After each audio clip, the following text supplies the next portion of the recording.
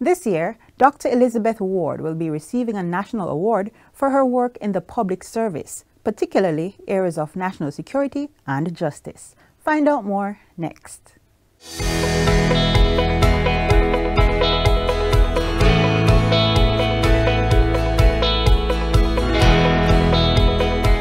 When you see a smile on a young child carrying a leaf in Hannahtown with a caterpillar on it. When there's no violence, he gets to go to school. He comes home, he goes to his mother, he puts his caterpillar in his jar, glass jar, and he sees a butterfly. I'd love to see that happen for all our children so that they feel peace, they know peace, and they can achieve their potential.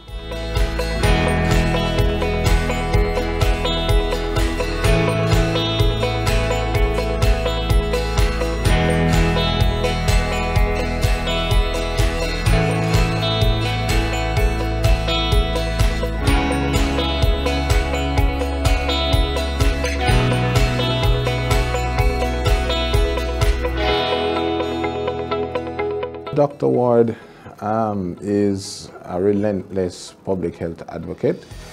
She has been one of the founders of the Violence Prevention Alliance, which seeks to provide a central clearinghouse for all the entities working in the area of violence prevention. Her energy, her contribution, her never say never attitude has really um, put the grassroots movement of empowering people first and getting people to own the peace process has put that on the map and put that as a priority for our development goals.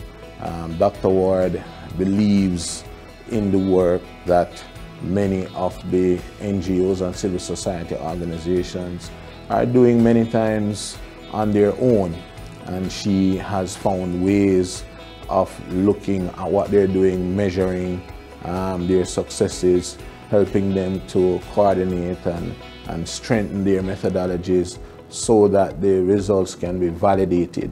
How I got started on doing this work was from community service at high school, working with Salvation Army on Mannings Hill Road.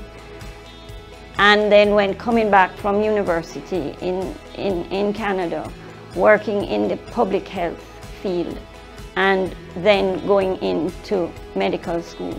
I realized that the hospitals were being very badly impacted by violence and that violence was a public health problem and we could solve it like how we solved other epidemics of diseases.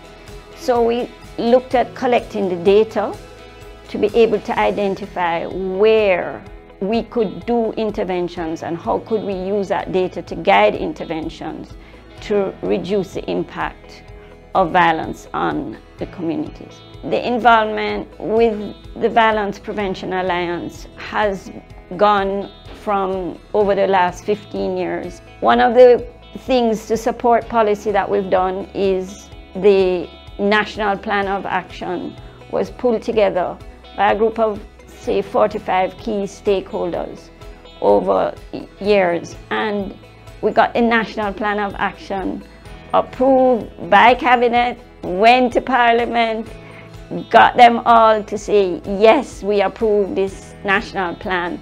And we have a framework. And now with the Ministry of Education, their Youth and Children's Division, they're running integrated meetings to look at the components of the plan and to see that the work is going forward. I'm really a data doctor, so a lot of my work actually is working with the data, but it's how do we apply that data usefully to make a difference in the lives of people. So I find when you go into communities, what you have to do is to make sure you have your data, know what's the background of this community, and then you actually find out from listen to the community hear what their priorities are and see how you can work with them and you have to build a relationship you have to build a trust you have to have credible partners working with key people stakeholders in the community you make sure the work is done in a bipartisan way. I can attest that she is the data doctor.